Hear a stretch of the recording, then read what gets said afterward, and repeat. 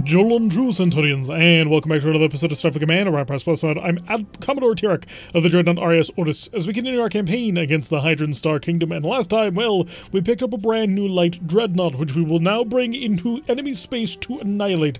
You may have also seen that we're now in the neutral zone between the Klingon Star Empire and the Federation, and that is because, unfortunately, our heavy cruiser has exploded. Now, it has been suggested that we bring a starbase with us this time, bring our own sort of weapons, as it were. Now, the first time we came over here, we kind of didn't have the cash to do that. But now we're sort of sitting in a much more comfortable position, but I'm not quite sure that those star bases actually exist. Although maybe they're one of these. SBHEI? No. No, these are all Starhawks. Unfortunately, I'm not quite sure what the star bases are named for the Romulans, but we are fairly close to actually being able to steal a planet at this time. So we're probably just not going to waste the time trying to set up another starbase somewhere in friendly territory once we actually build it. So without further ado, let us quickly check to make sure that we are fully kitted out. We are indeed. And we shall set out into space and see if we can't just sprint over to Hydran lines. The goal will be will be to avoid combat as much as possible until we're back in Hydran space. And lo and behold, right before we make it into Hydran space, we get assaulted by an anomaly or an asteroid base assault. Let's do the asteroid base assault because anomalies are an absolute major pain and tend to cause you a lot of damage. And since we're going to be operating so far from home, that's not exactly something we want to have happening. Already, we are once again in our excellent little Light Dreadnought. The Light Dreadnought was definitely a standout star of the last Romulan season. It was a vessel that we were in for quite some time. Proved to be incredibly effective. Very useful in many ways. Partially because it also carried a pair of pseudo frigates, which can carry a ton of plasma torpedoes, but also because it was maneuverable. It was nimble. It could get in on top of you and had a plasma R to do it with. So uh, having a single S, two Fs, and a single R not exactly the most titanic armament, and eventually I believe there's a version of this that has two Rs, but this should hopefully do for now. At least that's the hope, especially squaring off against a single little tiny frigate. Uh, let's just make sure our setups are good. Yep, that fear is fine. So they'll set up to enveloping mode. That'll take a little bit more power to actually get our plasma torpedoes to maximum damage. And then we'll buff up the forward shield with all additional power. This tells us, though, that we are able of maneuvering quite quickly, even without... Uh, quite quickly while charging weapons. It's also more maneuverable than your average Dreadnought, which gives us a little bit of an advantage when it actually comes to full-on battles, especially because positioning is everything when it comes to plasma torpedoes. I think we need to slow down a little bit, unfortunately. I'm going to increase the speed of time as we sort of wallow back and forth. We want to get our plasma torpedoes fully charged and ready to rock. So let's start turning in on him. A Plasma... wrong button. Wanted to slow down the speed of time. Plasma torpedoes just about ready to come online. Long range phaser fire coming our way. Looks like this guy is a whole bunch of Gatlings, so we kind of want to keep him at a little bit of a distance here. Fire our plasmas. Unfortunately, oh my goodness, that was rather astonishing, the amount of firepower that he just put out. We got a little bit more plasma torpedo just for him. If, as long as we hold him, he... Okay. Whew. Yeah, his point blank range firepower was absolutely amazing. I gotta give credit where credit's due. That is one heck of a gunboat. I'm honest to God, very much impressed by what that just was able to do. Hopefully, we won't have to worry about that again for a while. All right, we got long-range plasma or long-range phaser four fire intercepting us at the moment, we should be doing just fine as we'll cruise on over. And we can, if we want, just set up it sort of like a long range and barrage with our plasma R. The range on the plasma R is really good for what we can do with it. So if need be, we can sit back and siege. But obviously, we want to get nice, close, and personal and barrage. Now, in terms of overall firepower, we've definitely gone up. We went from two S's and two F's to, two, to a single S and an R and two F's, so obviously we've picked up 20 damage somewhere along the line. Uh, it does cost us a lot more power, but we are a much larger ship with a lot more power to burn. This also means we have a lot more defensive power. Because we have a larger power generation, we are able to put more power into the shields. So let's start slowing down and uh, prepare for just the long range barrage. We have 36 points of power into the forward shield. That should be enough with any luck. And uh, I hope to barrage him without having to worry about too much trouble. Actually, we should cloak. Takes a lot of power to cloak this ship. However, once we get within range, we should be able to open fire with all of our weaponry, and that is, of course, the goal. The more weapons we can fire, the better. So he is not shooting back at me at the moment, which is a little bit odd. I would expect him to just continue to blast away at my ship, especially because I'd like him to, you know, not be smart and effective. So we'll slow down to a full-on stop. He fired, so we'll come out of cloak and fire all the plasma and dig back into cloak. Safe and sound, we've just dealt 160 damage to him. Not bad at all so far as we take a little bit of light return fire, but we have 10.5 points of power in the forward shield. We can handle it. In fact, I'm going to get a little bit closer actually spend 1.3 points of power in order to actually move this stuff. We are almost a heavy cruiser in terms of maneuverability. Well, in terms of engine power, not necessarily maneuverability. Although we are more nimble than your average ship. The Romulans, not quite as good as the Klingons, to be sure, but definitely have a little bit of nimbleness going on with their fleet designs. Another nice big salvo, another 160 damage, tearing off systems left, right, and center. We've destroyed two of his point defense phaser systems, and his phaser 4 apparently needed a little bit of repairs as we dealt damage to that, which is excellent. A wonderful way to start the day, because we want to be able to basically kill them without having to worry about anything.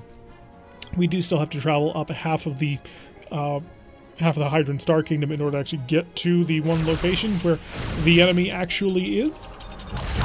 But once we conclude that journey, we'll be fine. There we go.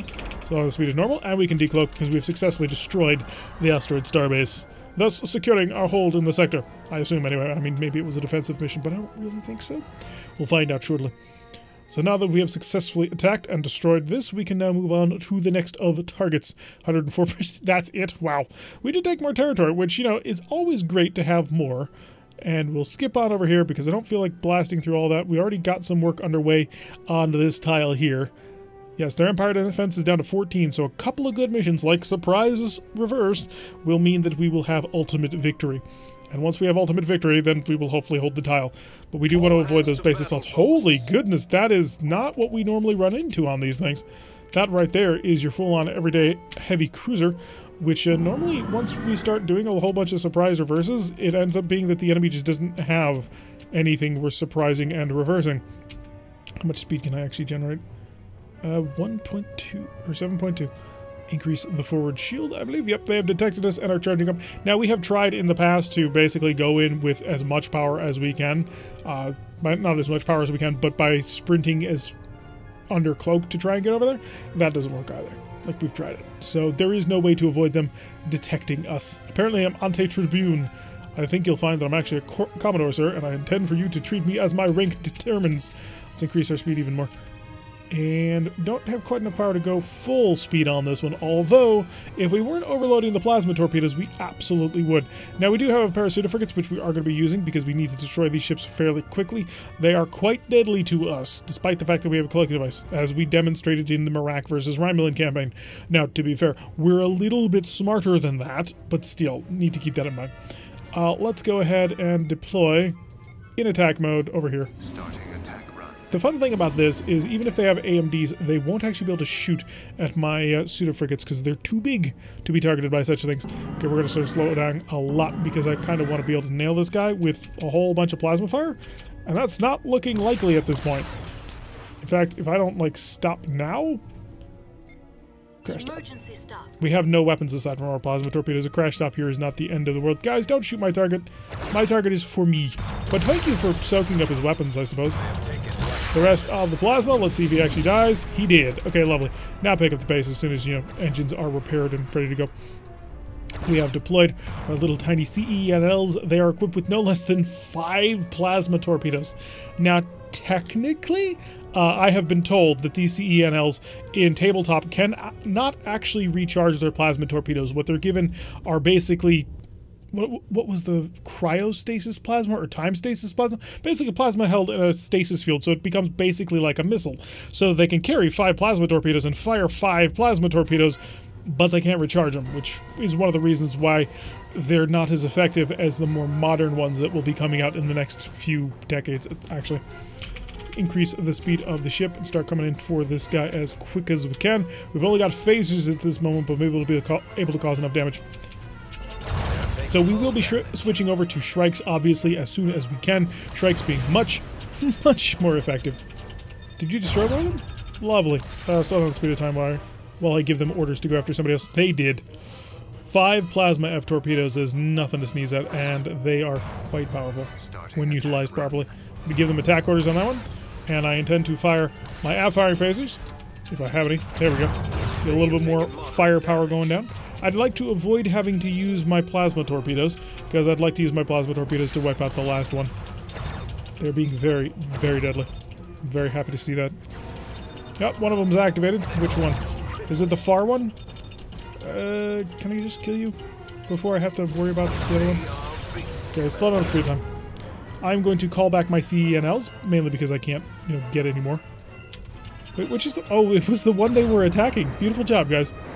Alright, so we've basically handled all this. I'm going to call my uh, pseudo-frigates home before they actually take any damage. So I can keep things nice and safe. We got the one immediately. You need to start turning to come back home. And you'll notice that they're little tiny warbirds, which is always a little bit amusing to me. Uh, when we come up with uh, the TNG mod version of them, I'm going to have to come up with something creative to use for them. Maybe they, we have those fighters from Nemesis. Maybe those actually exist somewhere in a file that I have. Lovely. So surprise reverse successful, both in reducing the enemy control over the area and pushing the Mirak a little bit back. We don't want to have to deal with them after all. So our light dreadnought doing probably exactly what it was designed to do, raiding and screwing with people. And a surprise reverse is exactly what that is. So Empire Defense is down to 9. Ah, oh, no, not another one. I can forfeit this because I don't actually have any ships to lose, so it can't penalize me for it. Oh, darn it. Darn it, we're trying to avoid these guys. We're really trying to avoid these. If I have to, I'm going to have to go back home. Nobody wants to do that. Okay, we got a full-on Dreadnought. Luckily for us, we have the C5 Fury. It is an LGE plasma torpedoes. Please set them to enveloping mode. And uh, let's see how much speed I can get, because I keep not actually checking how fast this ship is actually capable of going while charging all weapons in overloaded plasma mode. We're going to, of course, hide behind the C5. I don't know what sort of defenses this is going to be. But oh, that's so frustrating. The fact that we're going to be destroying it. I assume we're going to destroy it. I mean, there is, of course, the option that we fail. But assuming we don't fail, then destroying that is just going to be so irritating. Because then we're going to have to find another little sort of border station. And by that point, we're probably going to be on the northern end of the Hydran Star Kingdom. no, no, no. You can go first. You can go first. We're capable of making a speed of 23 while charging all weapons. Is that right? Holy crap, we're quick. I mean, I suppose we are light dreadnought, so we don't have nearly as many heavy weapons, but still, that is ridiculous ridiculous and a wonderful, wonderful fiery plasma UA. Okay, start to slow down. Let's get some forward shield reinforcement going on. Let's also get a little bit of electronic warfare. I'd like to start screwing with him. Go with uh, four points of power. So I am going to get in close to him, and I am going to mess with him quite nicely. At least I'd like to. Okay, buddy. Stop. In the name of love. There goes his crash stop. Start to slow down. And we can't hit him with the tractor beam. We'll pull away. But that's okay. Actually, no, we're going to increase the speed a little bit. So here's my plan. We're going to start pulling away. And I need the tractor beam to off, please. Because I don't want to start dragging him. Once he starts to accelerate, though, phasers have taken care of that. He started to accelerate. Energy. High energy because you'll notice that despite the fact we're a light dreadnought, we have a 100% chance of making this happen, which is hilarious. And he's already hit maximum speed. So he no longer is covered by the Wild Weasel. You get the Plasma on in there, strips out most of his shields, get the phasers in, what few phasers we have. Although, to be fair, our phasers did wipe out his fighter group, so there is that going for him. We've quite badly damaged already his aft of Gatling phaser, so that will allow us to sort of pull away from him fairly safely, actually, and we really should be using a lot more of our speed, because we have it. We may as well, you know, utilize it. A little bit more light phaser fire. Yeah, the Zenith is just basically in a really nasty position of getting barraged to death, because unless he's got enough tractor beams to handle this, he's probably going to die. He's traveling fast enough to... Oh, no, he's not quite traveling fast enough to run away from him. Grabbed one, grabbed two, grabbed three. And now he shot... He has only one left. We'll get within a range of five and execute a phaser run on him. Although, phaser run in this ship, not exactly the most stunning thing ever. We could try and get in there using our nuclear space mine. I mean, he is getting quite badly damaged, but I don't think that will be necessary. Fire the phasers. A couple of out-firing ones. We really have such limited phaser firepower. The way that the Romulans work is they bring lots of plasma torpedoes to the fight. Plasma torpedoes can do a ton of damage if utilized effect in the right ways, which, you know, we do. The only trouble with that is, oh, that's a is if you don't have the plasmas hitting targets, your phaser backup is trash. I mean, we've got seven phaser ones and two phaser threes. We have less phaser ones than most heavy cruisers. Like, except for the most base early Federation heavy cruiser, the entire Federation heavy cruiser line, I do believe, carries at least eight phaser ones. So the Zenith has been defeated. Now we can increase the speed of time and start trying to hunt down that starbase. I do believe that our friend the Fury will lead us in the right direction as we recharge our weapon systems. Increase the speed, we may as well go max. Just full maximum power up to a speed of 31. We are enveloping all the plasma torpedo, right? Okay. There it is, the starbase. Probe, How well equipped are you? Stop shooting me. Please, stop shooting me. Oh, God. That's a nightmare. Start to slow down. Alright, the, the biggest nightmare problem, obviously, is the fact that it is just equipped with a billion and ten Hellbores, which is not going to be fun to deal with at all. On top of that, it's got a whole ton of phaser force. And did I mention that it can also basically ignore plasma torpedoes because of the number of shuttles that it has? Yeah, this is just not gonna be fun. I do have some concerns we're not gonna make it. I'm not gonna use my CENLs because I want my Centurions to survive. Because if we lose them, then I can't replace them. Oh god, the fighters are just butchering him. Alright, prepare to fire the Plasma S. Oh, he's dead. We're gone. We're gone. See you next week. No. Uh, not gonna happen. We came, we saw, we ran away. Half shield reinforcement, please. Mine. God. Yeah, we, we came, we saw, we left. Uh, I'm not... No. With how quickly it annihilated that dreadnought, we could not take him. So on the one hand, the starbase remains, which means we'll be able to steal it. On the other hand, it did now get defended, which is obviously not great. Yeah, that's just too much firepower for us to take. We would need at least a King Condor to handle that. Well, maybe not. There could be several things we could do to try and do that. If I had a little bit better of a hold on territory around here, I would actually maybe give that a try but barring the fact that we didn't have a starbase at home that we could bring with us and we don't have a starbase around here to use, uh, yeah, we don't exactly have much to work with on that one. Oh crap, shouldn't have gone there. Because it generally spawns planetary assaults, and it did. But luckily there's an MET-10 patrol we can take instead. So we are trying to avoid super heavy action, because super heavy action is liable to get us killed, and we'd like to avoid that if at all possible. Alright, red alert, overload all the weapon systems. Let's get this sucker rolling, and rolling hard. More speed, a little bit more speed, some more speed right there. And increase the speed time. Oh, we're so fast. We're a dreadnought and we travel at a speed of 23. It's beautiful. Reinforce the forward shield. So we're apparently facing more Hydrans, which is not great. Are you another LGE? Because I can work with that. No, you're a paladin. You're a paladin two. too. That could be a little bit difficult. And you brought a friend. That's that's even worse. Okay, so here's my plan. We're gonna start slowing down the speed of everything. And you know what? I think we're going to utilize a standard tactic that we used to utilize a lot, and then we stopped doing it because, well, we didn't need to. So we're going to fire the pseudoplasma torpedoes from a range of 20 just to see if I can make it work, and then we're going to immediately break off to starboard. Now, why are we doing this? We're doing this to give us time. Also, we'll probably need to sneak underneath his fighters. Are you going to react to this? You are. Okay, lovely. So he fired everything, and then he fired everything, and are you under Right, so now we cloak and turn. Because these fighters are actually going to get in our way. They're going to shoot at us. But we're planning our maneuvers in such a way that these fighters will pass over us, or rather, we'll pass under them. And then we'll come out of cloak and fire everything we've got. fire everything you got. That's everything you got. Come to cloak. Plasma torpedoes prepared. And engage. At, ooh, almost, almost. Fire everything. And under cloak. And that is exactly what the plan was. Okay, lovely. Plasma torpedo set into normal mode. We don't need the... Well, we'd like the additional power of enveloping, not gonna lie. That's a big mine, by the way. So you don't want to be near that. Uh, specifically us, we would like to not be on that when it explodes.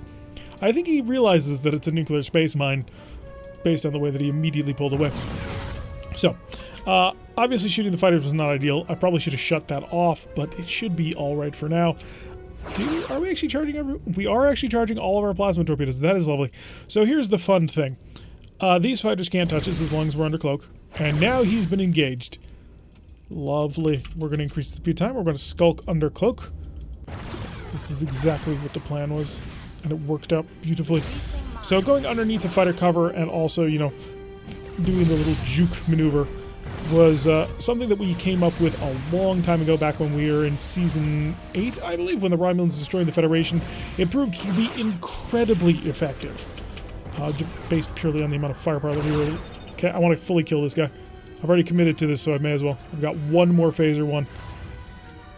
And got him. Okay, so his fighters are dead. And he is now vulnerable. Mainly because we've already opened him up quite heavily with our plasma torpedoes And now he's been bombing him, and we've taken out his fighters. We had a little juke maneuver to buy us some time to give us the right position. Uh, that was something that we came up with mainly in the light dreadnoughts. In the previous uh, previous time we had done this.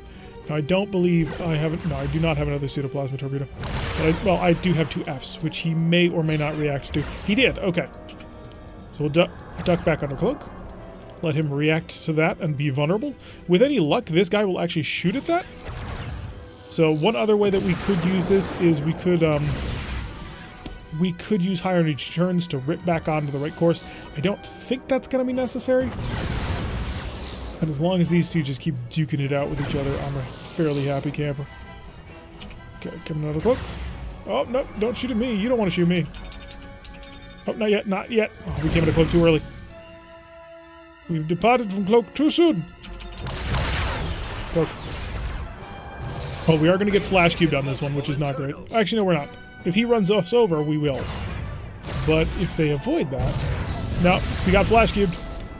So, getting hit with the mine reveals us from cloak, which then allows everybody to shoot at us as per normal. Which obviously is not great. So, yeah, the Perseverance is taking a tremendous hit so far. We've done an excellent amount of damage to him. I don't think the little guy has. The Rift Cutter, yeah, he's in a much better... He's also packing Phaser X's. What is this? What is this insanity? Plasma torpedoes slowly charging. We did not fire one of our Plasma F torpedoes, which did reduce the firepower onto the enemy by a fairly considerable amount, but that's a reasonable trade considering we got back under cloak fairly quickly. Although the mines afterwards did sort of take away some of that advantage, but still, not bad. We're going to start maneuvering away as quickly as we can. How much power do I got? I've got quite a bit, actually. I've got tons, because I've also got a whole bunch of power currently tied up in my electronic warfare suite we are capable of zipping along quite quickly while under cloak in normal mode. So he's mostly dead. In fact, he's going to die very soon. So my new plan, of course, is to therefore... Oh, he's dead. Coming to cloak. Tractor beam active. We're going to tractor anchor this guy. So instead of utilizing strategies of cunning and skill, we'll go just full brutal on him. Because I think we can do it. I think I have a sufficient amount of forward shield firepower to handle this. He may fire a whole bunch of missiles at me, which would actually be our main weakness, but I should have enough in terms of phaser and tractor defense to be able to handle all that. Nuclear space mine's gone off. Tractor apparently has failed. Okay. Um. Fire a plasma torpedo. Fire phasers. Let's just break him. A little bit more fire coming into him. Oh, his shuttle bay's dead. You don't say. Get me out a distance. We've got the distance. And let's bring it around. You're done for, sir. Yeah. Single retaliatory missile in response. Oh, this light dreadnought. It's so nimble, it's so quick, it's so powerful. In the right circumstances. And being able to get those two to fight off each other was just excellent. Alright, so a beautiful mission executed there as we continue sort of skirmishing with this one star base up here. If we traveled further north, it would probably be easier, but we're so close at this point. Also, you know, we almost have a planet over here. But that's going to do it for today's episode. I've been Tirak. If you like what you've been seeing, hit that like button and subscribe if you receive a notification every time I post one of these videos. Press that little bell icon, leave a comment, share the video, and I will see you all in the next episode.